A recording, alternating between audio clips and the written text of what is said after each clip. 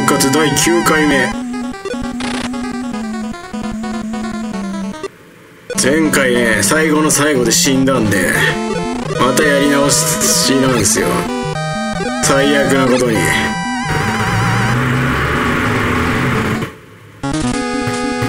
れ？あ一応こっからなんだ。最初からやんなくていいんだ。なんだ？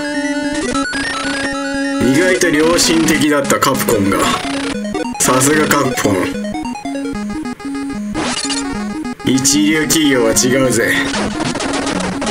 いやほら死ぬんだよこれでさ。一発でさ当たんないじゃん。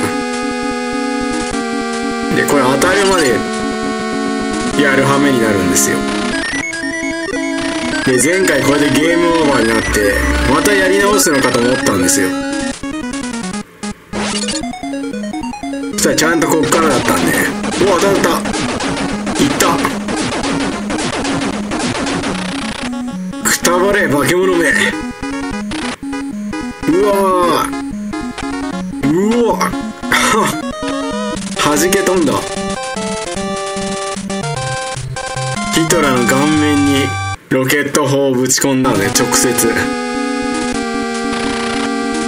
あと60秒後で爆発します？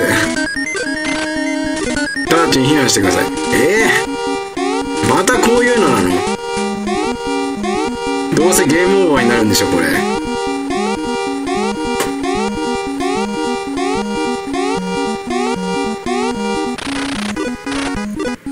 道連れにしてやるうざっけいやいやいやいや。ざっけんなこいつマジで。危ねえ。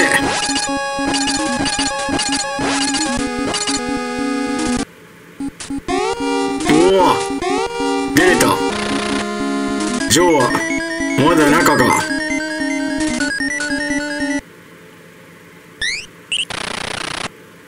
タイはどうした？もう待てない。脱出するぞ。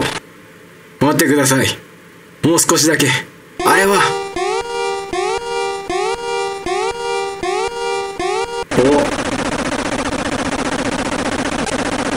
おナーティスの基地う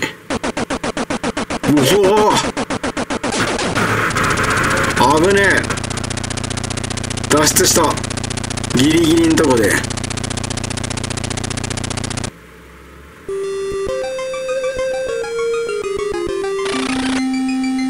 こちらラッド。任務完了。スーパージョーも無事だ。これより帰還する。ラッドって言うんだこの人。このグラさんのベジータみたいな髪型の人。おお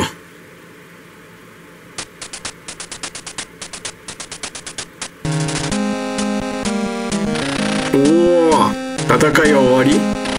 新しい英が誕生した。仲間たちの。祝福を受けながら。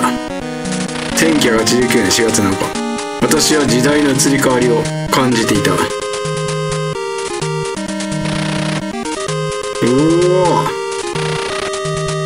これ89年の4月7日なんだ。発売日が。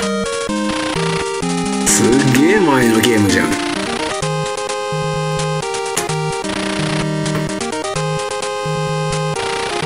え89年にもうこんないいゲームできてたん？ファミコンで。すごいな何気に。今でも十分に遊べるよなんか。内容的にさ。何の遜色もなく遊べるよ。すごい名作だなこれ。この頃のお。時が経ち年老いた今この物語を君たちに語ろう。長く語り伝えられることを願って。ジョー。2010年8月2日ジョーだって。2010年って。12年前じゃん。つい。ついこの間じゃん。8月2日に。89年の物語を2010年に語ったんだ。20年後ぐらいに。このスーパージョーが。それが冒頭のあの、私がなんか若かった頃のっていう話か。あそこに繋がるのか。そういう演出なんですね。なるほどね。そういうこと。